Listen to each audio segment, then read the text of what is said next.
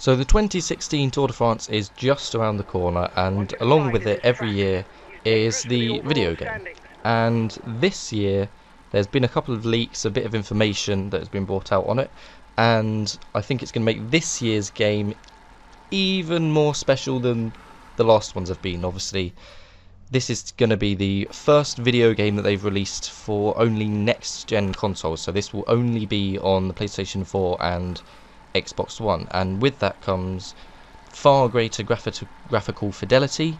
Um, they'll be able to do a lot more with the graphics of the game, which is always a, a, great thing. Obviously, with the Tour de France going through some really iconic places such as Mont Saint Michel and Mont Ventoux, um, which is obviously overall just going to increase how good the game is compared to previous years. Obviously, this game has always been somewhat lacking in terms of graphical fidelity, but you wouldn't really expect it to be among the best looking games on consoles anyway.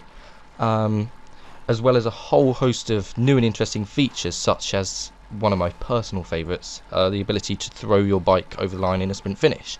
And although it may sound like quite a small thing, it's just all these little things that come together and just increase the quality of the game and obviously if you can throw your bike forward at the line it's going to give you a bit more of an edge over the opponents and it just makes the whole game smoother and a lot easier to play um, as well as Pro Team. Pro Team was my absolute favourite mode in the 2015 Tour de France. I love how you could create a semi-amateur team, take it all the way to the top, acquire new riders, build your team kind of around how you wanted it.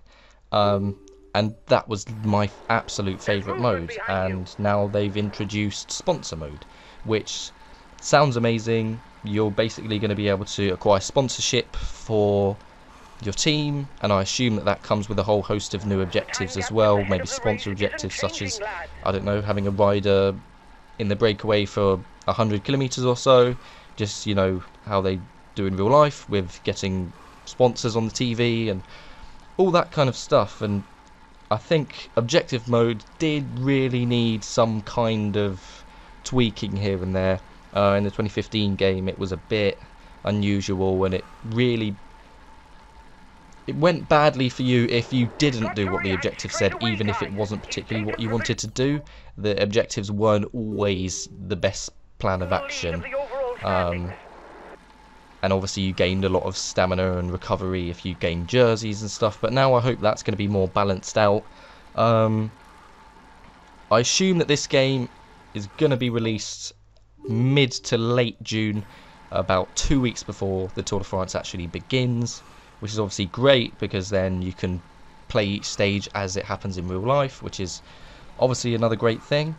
Um, challenge mode returns again and now includes multiplayer so challenge mode in 2015 was basically downhill challenges, just go downhill as quick as you can.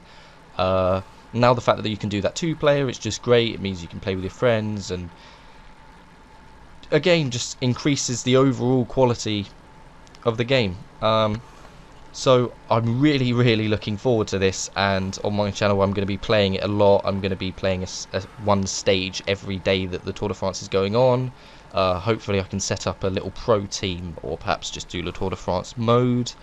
Um, so yeah, this is really shaping up to be a quite impressive game this year. Um, obviously they've spent a lot of time and effort into it, um, and I'm hoping that these final tweaks um, all come together and make a brilliant game. Um, although I do feel that Pro Team does need some sort of balancing because in the 2015 game it seemed very difficult to get going um, in the Criterium International and Dauphiné um, towards the start and it seemed like as soon as you won one of those it was much much easier to then acquire riders. I think it should be more balanced between all three tours that you can do. Um, but yeah, to conclude, I just think this game is going to be very, very, very impressive. Um, and I really can't wait for it. I want to get my hands on it as soon as possible and start uploading as many different videos as I can. Maybe a couple of challenges, maybe pro tour, maybe a season with every team. But yeah, we'll see how it goes, and I'm really looking forward to it.